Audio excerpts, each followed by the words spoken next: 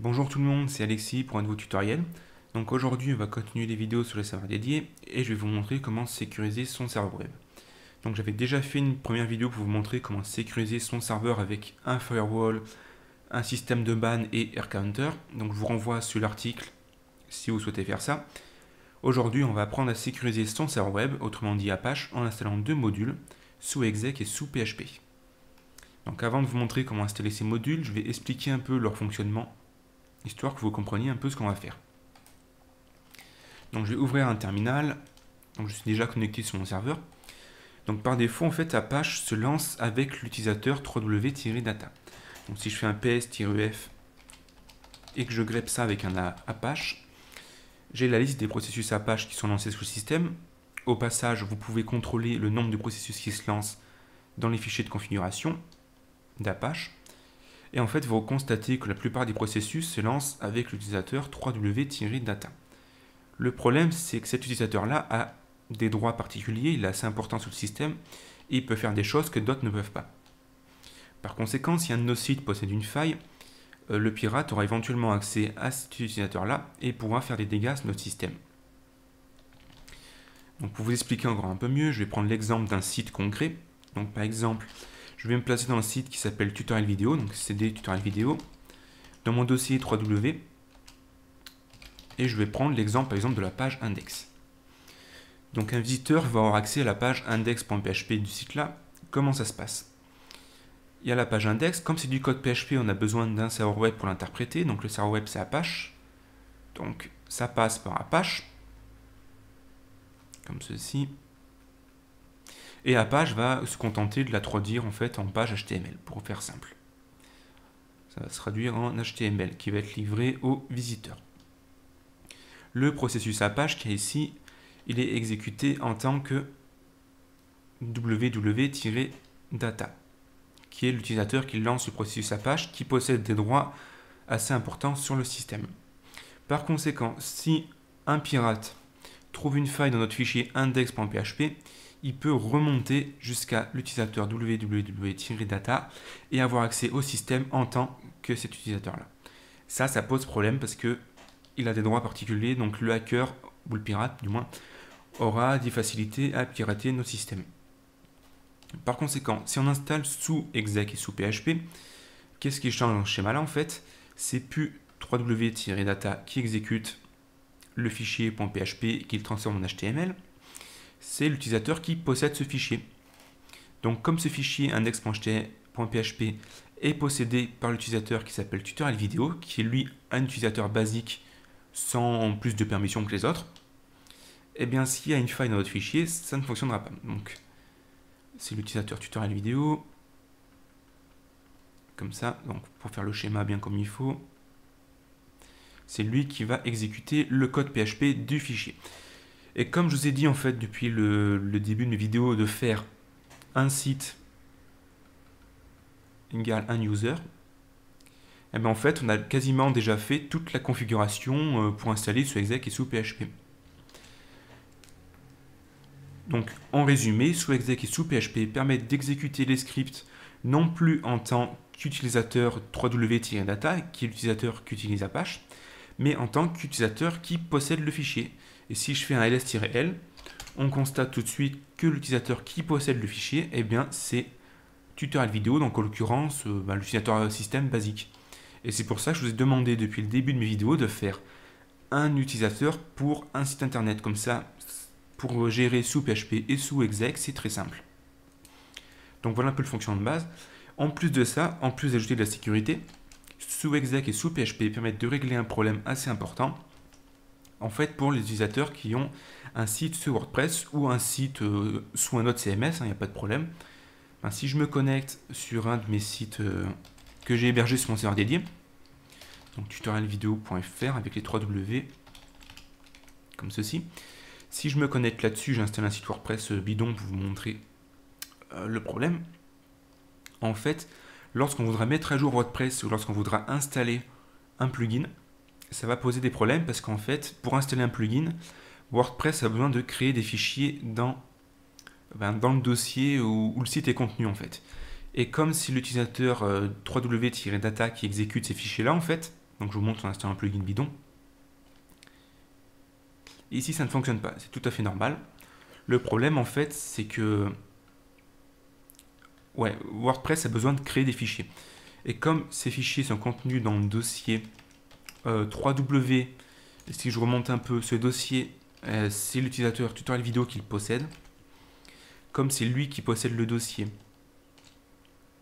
et que c'est 3W-data qui exécute le code, ben, il y a un souci entre les deux. Donc 3W-data, il ne peut pas créer en fait de fichiers là-dedans. Il n'a pas le droit. Et si on inverse, une solution pour médias ce problème, en fait, ça serait de donner le dossier à 3W-data, donc tous les dossiers W à 3W-data. Mais là, le problème, c'est qu'on n'arrive plus se connecter en FTP, parce que pour se connecter en FTP, on utilise l'utilisateur tutoriel vidéo. Et comme le dossier 3W n'appartient plus au tutoriel vidéo, on ne pourrait pas envoyer de fichiers. Donc c'est un peu un problème vicieux. Et sous exec et sous PHP permettent de remédier à ce problème, parce que du coup, c'est tutoriel vidéo qui va exécuter euh, le fichier d'update ou d'installation de, de, plugin, et par conséquent, il aura les droits. Donc voilà, ça, remet, ça permet de remédier à ce problème. Donc c'est assez intéressant, parce que je suppose qu'il y en a pas mal d'entre vous qui ont ce problème, et ça peut être assez compliqué de trouver la solution. Donc voilà un peu pour la partie théorique du tutoriel, parce que je trouve que c'est intéressant d'expliquer son fonctionnement. Ça permet de trouver les problèmes euh, plus tard, plus facilement en fait, si, ça ne fonctionne pas. Donc voilà, donc je vais aller de mon répertoire personnel, je vais faire un clear, et on va installer déjà euh, sous exec, donc apt-get install. J'ai du mal. Dis donc. Donc apt-get install apache2 sous exec. Et on installe ce paquet là. Et ensuite on installe un second paquet. Cette fois-ci ça va être apache2 sous exec custom. Donc pourquoi j'installe pas ces deux packs en même temps? Tout simplement parce que j'ai remarqué que ça posait problème et que ça ne fonctionnait pas chez moi. Donc j'installe d'abord sous exec tout simple et ensuite le sous exec-custom. Comme ça j'ai pas de souci. Du coup sous exec installé. Je vais aller dans mon dossier Apache, donc cd slash etc slash apache 2. Si ça s'est bien installé, vous devriez avoir un dossier qui s'appelle sous exec qui s'est créé.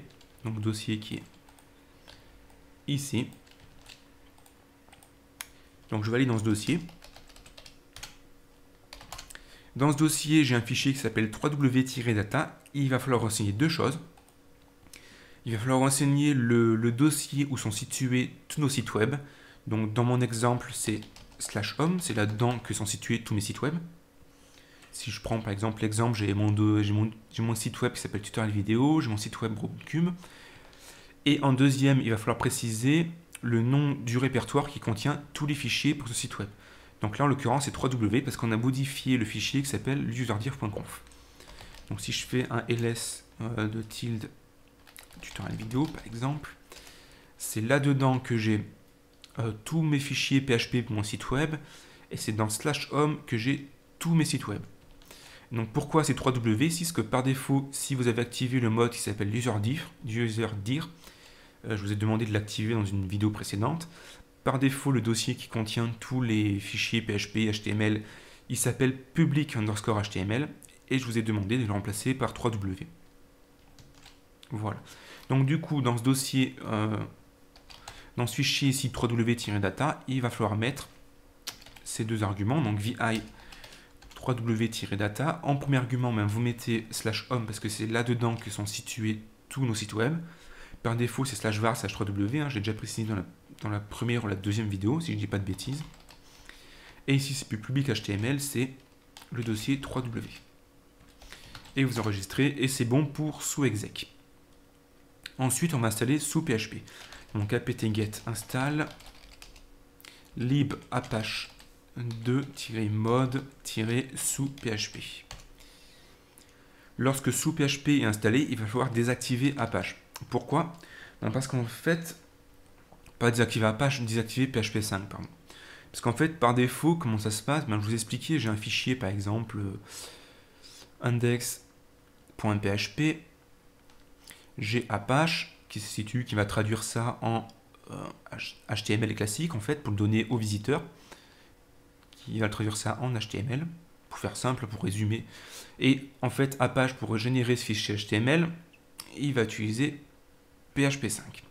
Mais avec ça, en fait, le problème, c'est que le fichier index est exécuté avec PHP 5 en tant qu'utilisateur 3w-data. Donc on revient sur le schéma de tout à l'heure, en fait. Et en fait, il va falloir désactiver PHP 5 pour qu'en fait Apache utilise à la place de PHP 5 sous PHP. Et c'est sous PHP qui va en fait euh, demander à PHP 5 de traduire les fichiers. Mais sous PHP, euh, ce qu'il fait en plus, c'est que lui, il va regarder euh, ici le fichier à qui il appartient, il va l'exécuter avec ces droits-là. Et il va traduire ça en HTML. Donc voilà un peu le schéma simplifié du fonctionnement. Donc il faut désactiver PHP 5. Donc pour désactiver un mode, A2 dis mode, donc Apache 2 disable mode, PHP 5. Donc du coup, j'ai plus de PHP, et c'est normal. On va juste vérifier que euh, sous exec et sous PHP soient bien activés, donc A2N mode, Apache 2 enable mode, euh, sous exec, parce que des fois je sais qu'ils désactivent, voilà, et sous PHP, juste histoire de bien vérifier que c'est bon. Voilà. Du coup, il faut que je restart le serveur, donc slash etc slash init.d slash apache. Et on va le restart. Voilà. Et à ce stade de la configuration, si tout se passe bien, normalement, vos sites dynamiques en PHP, ben, normalement, ils ne fonctionnent plus. Voilà, et en plus, j'ai une erreur 500, et ça ne fonctionne plus. Et c'est tout à fait normal, parce que il faut qu'on précise deux trois petits trucs dans le fichier de configuration de sous PHP il faut qu'on modifie les virtual hosts. Donc on va modifier sous PHP, donc cd slash etc slash sous PHP. Et il possède un seul fichier de configuration qui est le fichier sous php.conf. Donc on va éditer ce fichier là. Donc ici vous constatez qu'on est ligne 9 web server user. Donc en fait c'est le nom de l'utilisateur qui va exécuter le serveur web Apache. Donc c'est www-data dans mon exemple. Ça peut changer chez vous. Hein. Donc vous faites un ps-ef grep apache pour voir quel utilisateur lance le serveur.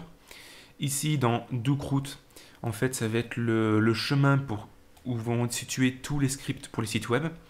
Donc là le chemin, euh, vous laissez par exemple slash var slash 3w si vous le souhaitez.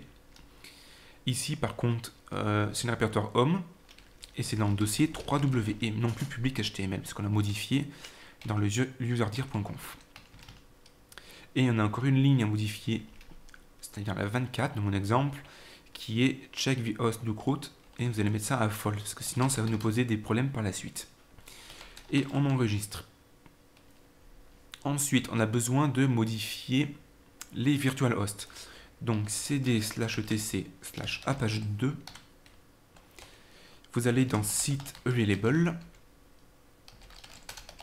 si on fait un ls, vous remarquez que j'ai deux gros sites. En fait, le default, on va pas le changer. Donc, je vais modifier le tutoriel vidéo et on va seulement ajouter une petite ligne que j'ai déjà mis ici en commentaire qui va préciser en fait à sous, euh, sous PHP sous quel nom d'utilisateur exécuter ces fichiers-là. Donc je supprime ça. En fait, on précise le nom de l'utilisateur, donc sous exec user, et le nom du groupe qui va exécuter les fichiers PHP du site web. Donc si vous avez fait pareil que moi, normalement le nom d'utilisateur, ça porte le même nom que le site. Donc là, tutoriel vidéo. Et on enregistre. Et je vais également modifier euh, Et je vais décommenter cette ligne. Comme ceci. Et j'enregistre. Ensuite, il faut redémarrer la page. Donc slash tc slash init.d, pardon. Slash à page 2, on va le restart carrément parce qu'on a fait quelque chose d'assez important là. Voilà.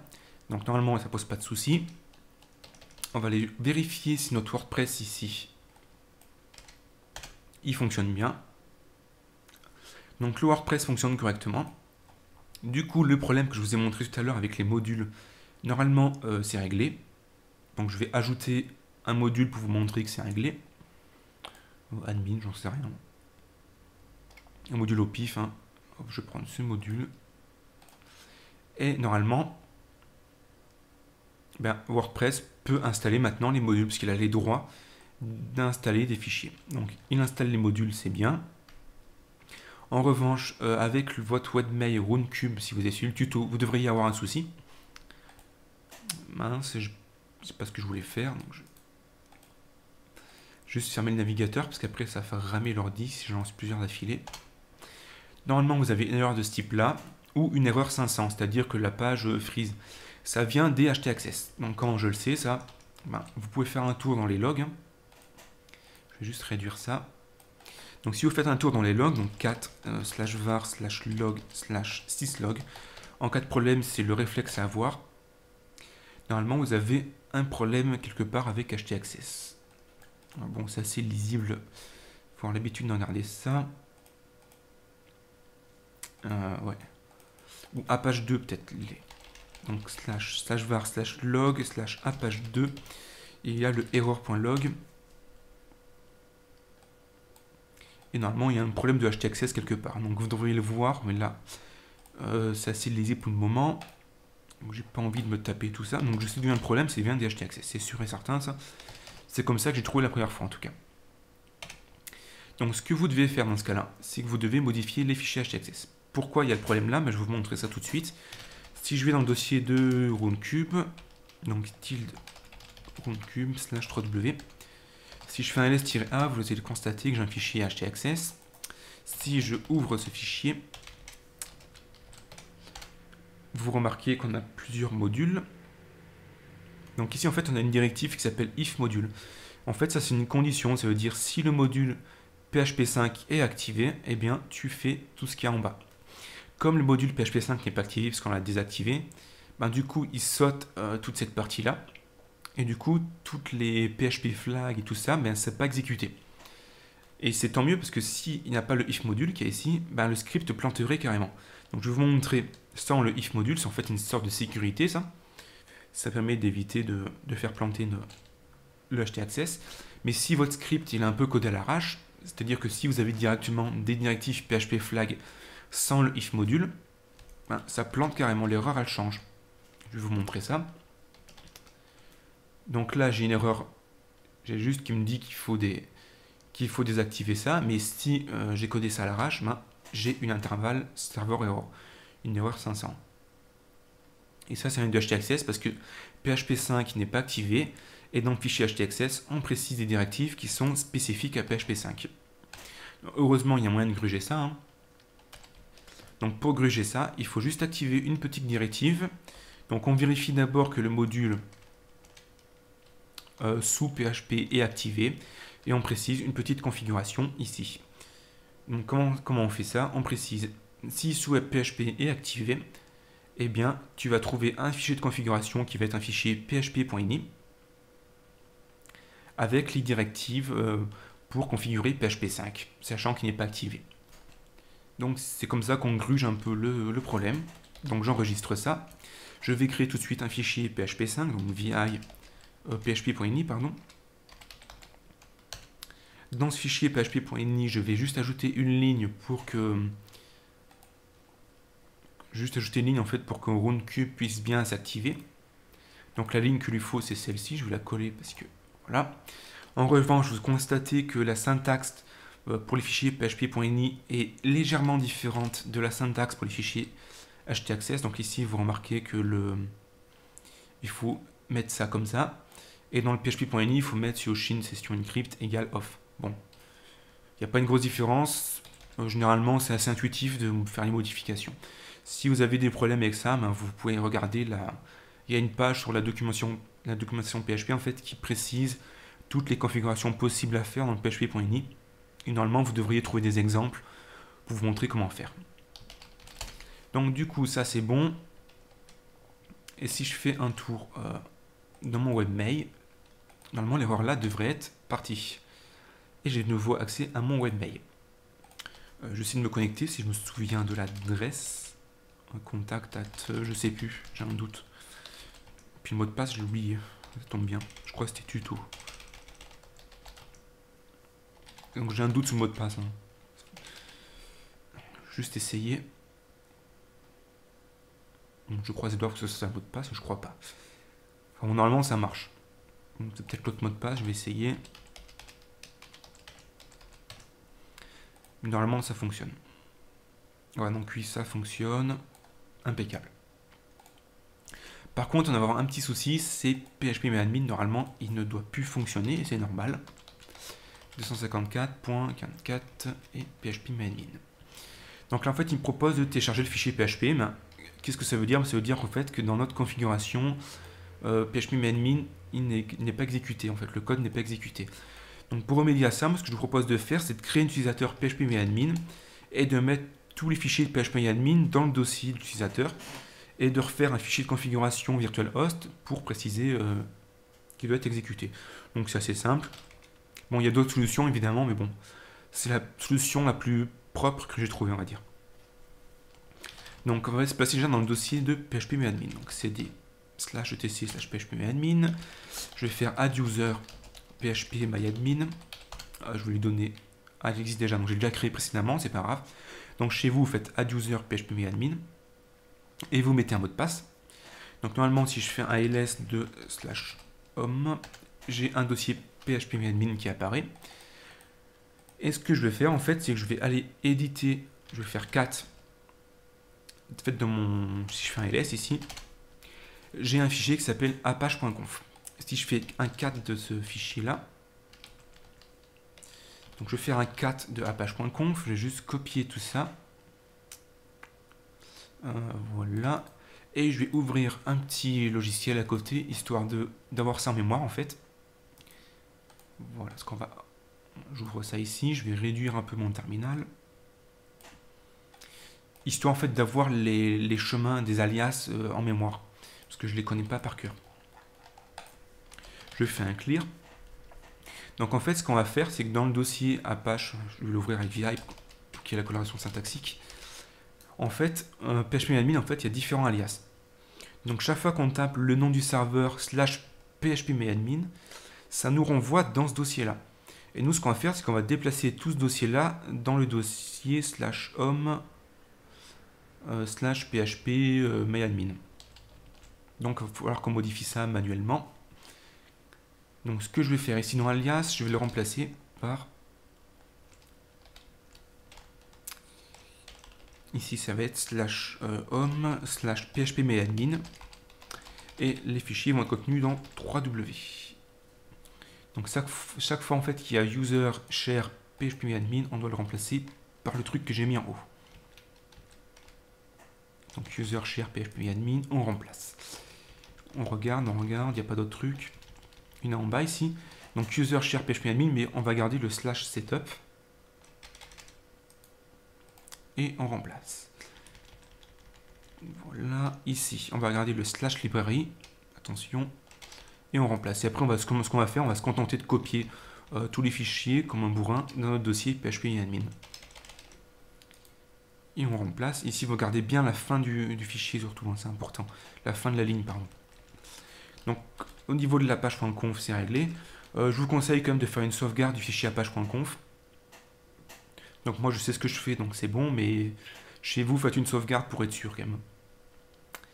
Ensuite, on a besoin de, de mettre tous les fichiers dans le dossier correctement. Donc bon, euh, je vais juste refaire un tour là-dedans pour être bien sûr de quelque chose. Ok, donc c'est bon.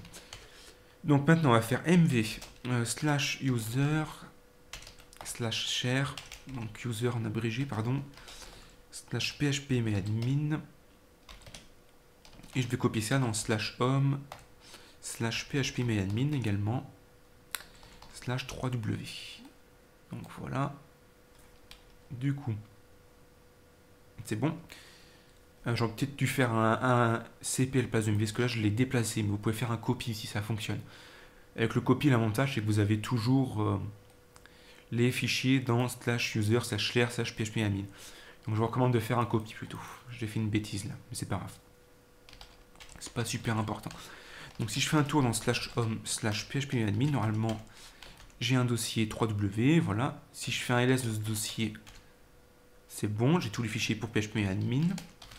Je vais revenir en arrière et donner euh, ce fichier 3W à phpMyAdmin, donc change owner, phpMyAdmin, deux points, on change le groupe aussi, phpMyAdmin et 3W. Donc pardon, PHP admin encore une fois. Et on va activer "-r" pour activer le mode récursif. Et voilà. Donc du coup, ça c'est bon. Maintenant, il faut qu'on modifie encore une fois le fichier. Donc slash etc slash phpMadmin, parce que j'ai oublié d'ajouter la ligne pour S. Donc on va modifier le fichier Apache qui est ici. Et je vais juste ajouter la ligne pour le sous-exec. Donc je vais copier-coller parce que j'ai la flemme de recopier. Voilà, on va juste ajouter une ligne. Comme ceci. Et là, c'est plus sur la vidéo, c'est phpMadmin. Pour dire en fait que ces fichiers... Mince, là j'ai fait une connerie, c'est pas grave. juste pour préciser que ces fichiers vont être exécutés en tant qu'utilisateur et groupe phpMyAdmin, non pas autre chose. Donc phpMyAdmin. On enregistre, on va restarter Apache. Donc restarter c'est pas un mot mais c'est pas grave, redémarrer en français. Donc on va redémarrer Apache et on va le voilà, restart. Et du coup, normalement, mon PHP admin doit être fonctionnel. On va juste vérifier. Parce que c'est des manipulations assez importantes quand même. Donc, à un endroit ou à un autre, ça, il y a des chances que ça foire, c'est normal. Et j'ai de nouveau accès à PHP admin. Si je me connecte en tant que root avec le mot de passe, normalement, ça devrait être bon. Donc, on va juste vérifier qu'on n'a pas... Donc, je suis trompé dans le mot de passe, sûrement.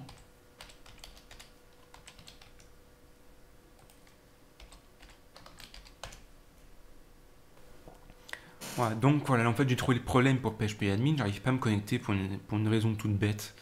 C'est que l'alias hein, qui a ici, en fait je soupçonne qu'il soit en fait euh, pas bon. Et en fait, dès qu'on met, euh, dès qu'on essaie d'accéder en fait sur notre site avec par exemple slash euh, php admin directement comme ceci, php my admin, voilà. Dès qu'on accède de cette manière et qu'on essaie de se connecter, ça ne fonctionne pas. Il faut juste ajouter un tilde devant dans l'URL. Ici, il faut ajouter un tilde, donc Alt GR 2 sous le clavier. Et dès qu'on fait ça, on arrive à se connecter sur phpMyAdmin. Donc c'est un problème un peu bizarre. Je pense que ça vient du, des alias qui sont un peu foireux, mais bon.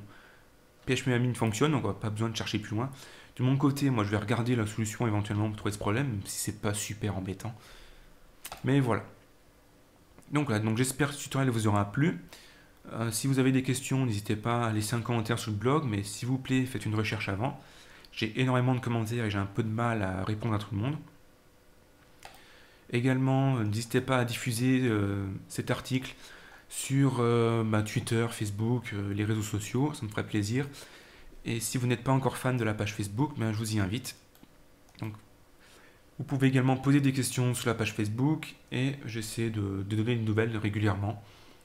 Donc si vous souhaitez rester en contact et avoir les, nouveaux articles euh, en temps et en heure, ben, vous pouvez faire un tour sur la page Facebook ou directement vers le flux RSS du site en cliquant ici sur le flux RSS. Et vous pouvez vous abonner avec NetVibes. Donc voilà, j'espère que ça vous aura plu, que vous n'avez pas trop de soucis, et puis amusez-vous bien avec vos serveurs. Bon courage